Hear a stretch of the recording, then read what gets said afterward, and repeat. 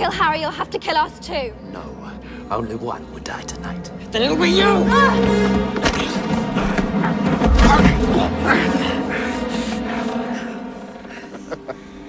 Are you going to kill me, Harry? Now, Harry, come and join the big boys. What are you doing? What's this rubbish?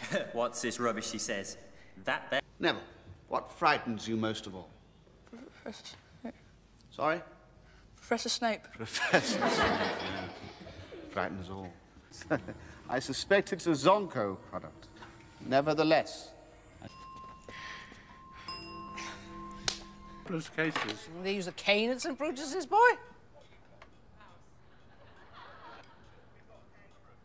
Oh, yeah. Yeah, I've, I've been beaten loads of times. Mm. Oh! Thank you. You've spoken out of turn, Miss Granger. Are you incapable of restraining yourself, or do you take pride in being an insufferable know-it-all? He's got a point, you know. Fan a werewolf. They include being given the power of shape-shifting,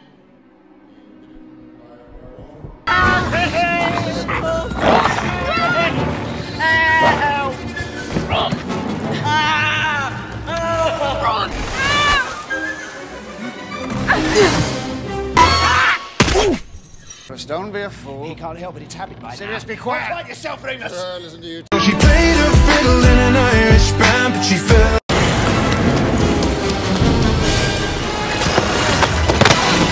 You'll need